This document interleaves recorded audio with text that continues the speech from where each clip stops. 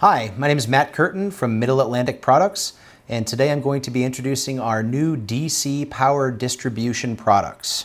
We have two different models.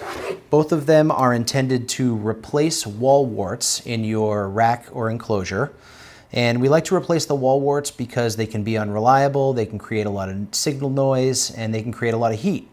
So by Lopping off the end of the wall wart and terminating directly to one of these Phoenix connectors, you can solve a lot of your thermal and noise problems in your installation. This model, the smaller one, which is the PDDC45, uh, has 5 volt and 12 volt taps on the back.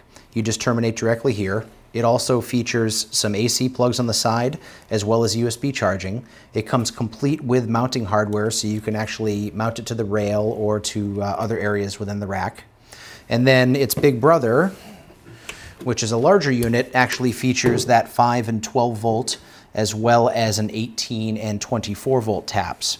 This one is rack mountable. It comes with a multi-mount uh, rack kit so you can rear mount it or you can recess mount it.